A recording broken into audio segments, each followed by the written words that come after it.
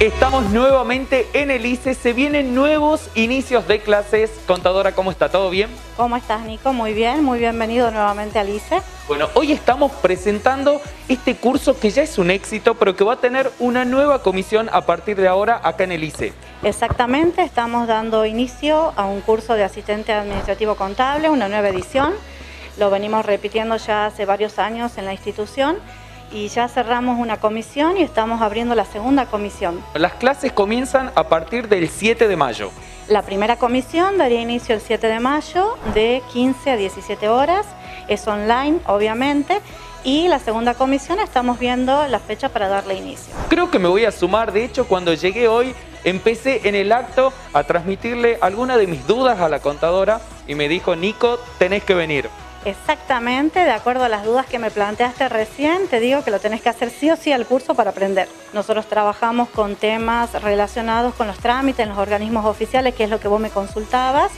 Trabajamos con arqueo de caja, conciliación bancaria, trabajamos con el llenado de documentos comerciales, cheques.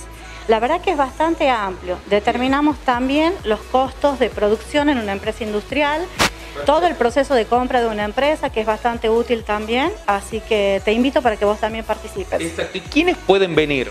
Mira, Nico, a lo largo de los años nos dimos cuenta que nuestro curso no tan solo está destinado para personas que estudian contabilidad o administración o personas que trabajan en alguna empresa en el área de administración o contabilidad.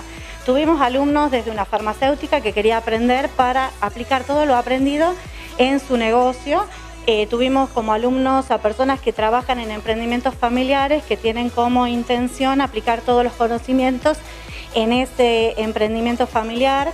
Eh, tuvimos como alumnos personas que estudiaban abogacía, eh, amas de casa que quizás no han terminado una carrera universitaria o terciaria y quieren incorporar conocimientos. Aparte, en esta pandemia, bueno, crecieron muchos emprendimientos que de repente se hicieron grandes y obviamente que tienen otras obligaciones. Exactamente, con la pandemia hay muchos emprendimientos que se han visto desbordados por la cantidad de trámites eh, o requerimientos de información que tienen que contar, entonces les es sumamente útil.